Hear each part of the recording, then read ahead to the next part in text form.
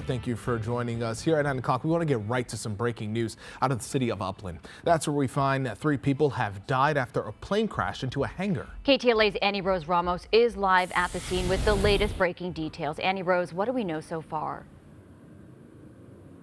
Well, Lauren, I'm standing right outside of Cable Airport, and we understand from the police and fire department in San Bernardino County that the call came in at around 6:40 a.m. That is when a plane apparently crashed into the hangar you see behind me, causing a fire. You can see and make out some of those fire trucks right there, emergency services and personnel. There's another fire truck in red, that red Explorer. All of them responding to this one hangar. And I want to bring in Kevin Bunk because you live just down the street and you were telling us that this particular hangar belongs to a learning flight school. Is that right? Yes, ma'am. It was about 6.30 and I heard a very loud noise, sounded like a, a truck hit a building, really loud. Thought, what, what is that? But then I heard all the sirens and um, apparently the building caught fire and um, I haven't had a chance to look at the scene yet, but I talk to these flight students all the time, weekly, so I am worried I might know some of the people.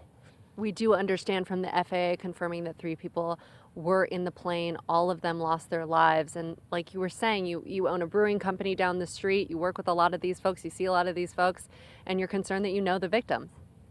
Yeah, um, they're great people. They come down and visit last name. Um, our friend Andy owns it, and um, you know it's it's tragic. I've seen a plane crash myself um, wow. at um, the airport in Fullerton, so um, it's kind of life changing. It changes the way you look at flying when you see something like this. Absolutely.